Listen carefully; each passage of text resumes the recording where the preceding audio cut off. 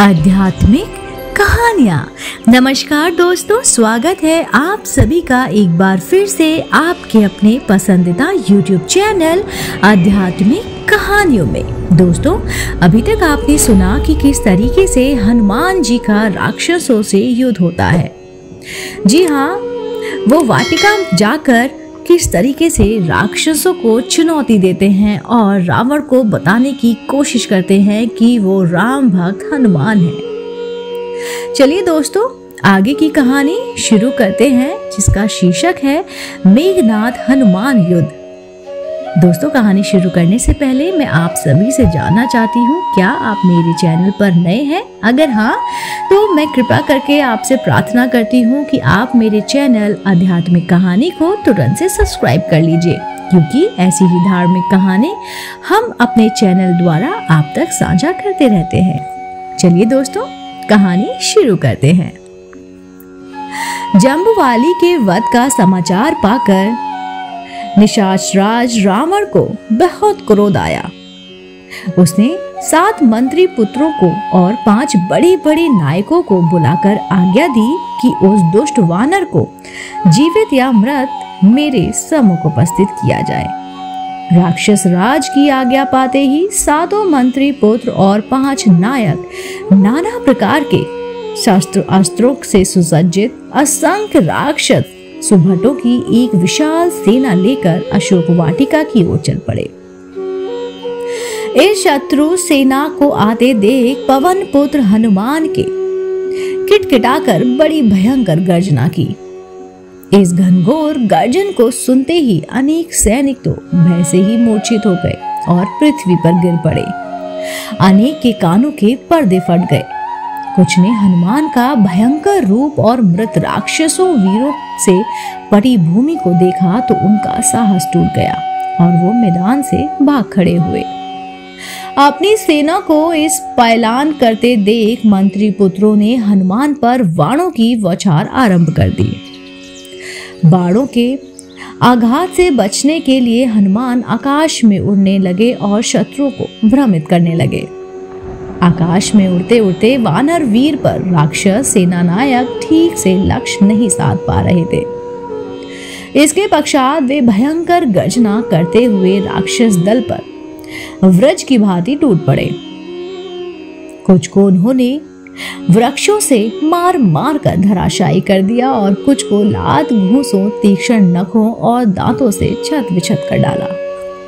इस प्रकार उन्होंने जब सात मंत्री पुत्रों को यमलोक पहुँचा दिया तो विरूपाक्ष, युपाक्ष, दुर्दर्श, संघर्ष और भाष्कर नामक पाँचों नायक तीक्ष्ण बाणों से हनुमान पर आक्रमण करने लगे। जब दुर्धर्ष ने एक साथ पाँच विषैले वाण छोड़कर उनके मस्तक को घायल कर दिया तो वे भयंकर गर्जना करते हुए आकाश में उड़ गए। दुर्दर्श भी उनका अनुसरण करता हुआ आकाश में उड़ गया और वहीं से उन पर वाणों की वर्षा करने लगा। यह देखकर दांत किटकिटाते हुए पवन पुत्र दुर्शत के ऊपर कूद पड़े। इस अप्रत्याशित आघात को ना सह पाने के कारण वह तीव्र वेग से पृथ्वी पर गिरा, उसका सिर फट गया और वह वहीं पर मर गया। दुर्गश को इस प्रकार मारकर हनुमान ने एक साखू का वृक्ष उखाड़कर ऐसी भयंकर मार काट मचाई कि वे चारों नायक भी अपनी सेनाओं सहित धराशायी हो गए। कुछ राक्षस अपने प्राण बचाकर बेतहाशा दौड़ते हुए रावण के दरबार में पहुँच गए और वहाँ जाकर उसे सब योद्धाओं के मारे जाने का समाचार दिया। जब रावण ने एक अकेले वानर के द्वारा इतने पराक्रमी नायकों तथा विशाल सेना के विनाश का समाचार सुना तो उसे बड़ा आश्चर्य हुआ और क्रोध भी आया। उसने अपने वीर पुत्र अक्षय कुमार को एक विशाल सेना के साथ अशोक वाटिका में भेज दिया। अक्षय कुमार ने हनुमान को दूर से ही देखते ही उस पर आक्रमण बोल दिया। अवसर पाकर जब अंजनी पुत्र ने उसके समस्त अस्त्र शस्त्रों को छीन कर तोड़ डाला तो अक्षय कुमार उससे मल युद्ध करने के लिए भिड़ गया। परंतु वे हनुमान से पार न पा सका। हनुमान ने उसे पृथ्वी पर से इस प्रकार उठा लिया, जिस प्रकार गरुण सर्प को उठा लेता है। फिर फिर दोनों हाथों से बल लगाकर मसर डाला। जिससे उसकी हड्डियाँ पसलियाँ टूट गईं और वह चित्कार करता हुआ यमलोक चला गया। जब रावण ने अपने प्यारे पुत्र अक्षय कुमार की मृत्यु का समाचार सुना तो उसे बहुत दुख हुआ। उसके क्रोध का अंत ना रहा, उसने अत्यंत कुपित होकर अपने परा पराक्रमी पुत्र मेघनाथ को बुलाकर कहा, हे मेघनाथ, तुमने घोर तपस्या करके ब्रह्मा जी से जो वरदान लिया है और जो अस्त्र प्राप्त किए हैं उसके प्रयोग का समय आ गया है। जाकर उस वानर को मृत्यु दंड दो, जिसने तुम्हारे वीर भाई और बहुत से राक्षस योद्धाओं का वध कर दिया है। पिता की आज्ञा पाकर परम पराक्रमी मेघनाथ भयंकर गर्जना करता हुआ हनुमान से युद्ध करने के लिए चला गया।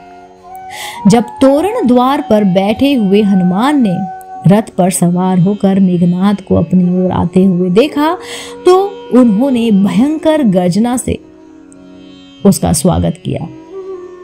इससे चिढ़कर मेघनाथ ने स्वर्ण पंख युक्त तथा व्रज से सदृश वेल वाले बाणों की उस पर वर्षा कर दी।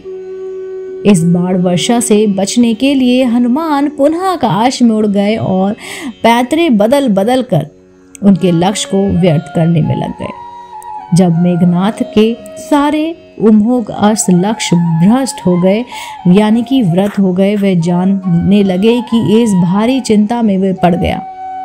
फिर कुछ सोचकर उसने विपक्षी को बांधने वाला ब्रह्मास्त्र छोड़ा और उसने हनुमान को बाँध लिया।